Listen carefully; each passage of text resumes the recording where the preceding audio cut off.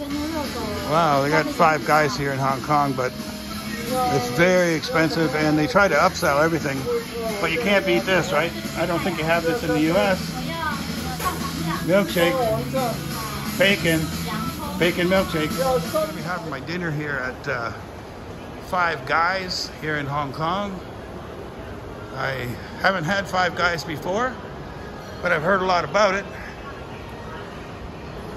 Actually, I thought I already ordered. Had to go to go to the washroom. They don't have a washroom. It's a pretty big restaurant. I mean, that's a huge Five Guys sign there. Uh,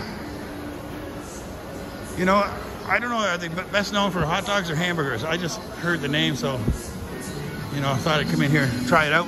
Another big Five Guys. Not a lot of customers here. They got some oh peanuts for free, I would think. And I'm hoping it's gonna taste delicious. I got the free peanuts. I got me some of those. They're so-so even bad. But here's the fries. I got a large fries. Half of these weren't even in. I had to rip this open so I could jam them in there. And there's the rest of the fries. I mean, what the heck? So much for presentation. This is actually, I haven't touched this burger. This is how it came.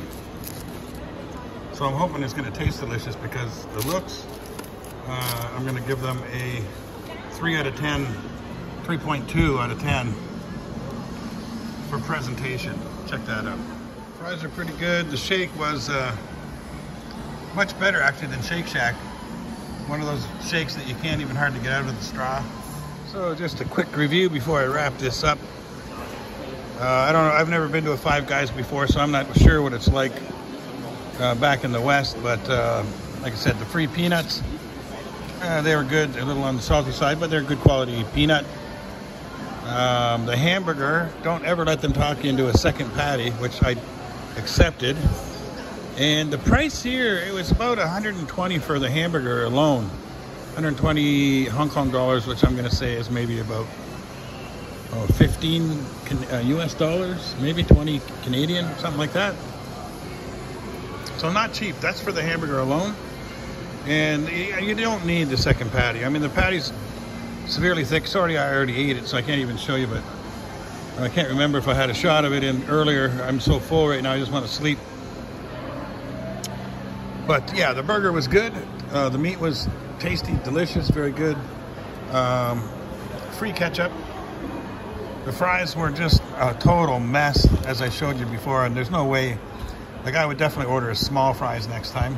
You know, a lot of places you don't know whether to order a large or a small fries. I'm going to say, especially at this Five Guys that I'm at here in Hong Kong, I would never order a large fries again. Um, I ate, trying to really push myself to eat like half of them. The other half's going to go in the garbage, and they're. Um, it says here, I don't know if this is normal for a Five Guys store either, but they're telling you where the potatoes are from, so apparently they really care about their potatoes. Um, the milkshake, I got the chocolate shake, and it's too it's too much chocolate.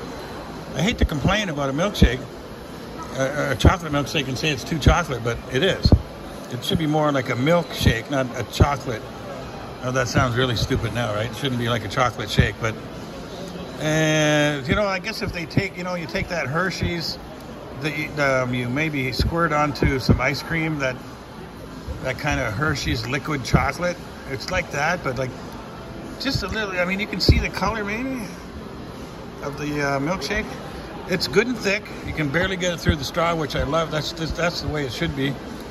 You know, I, I've been to the um, Shake Shack several times in Shenzhen. Every time the shake is watery, and it's like it's not even really a milkshake at that point. But anyway, yeah, this shake was plenty thick, and um, just a little bit too much chocolate juice or whatever that is put in uh, into the shake. Uh, but otherwise, it was pretty good. The hot dog was the best of all. I don't know why they slice it in half before they make the. You can't see it obviously. It's just a wrapper at this point. But it was absolutely delicious.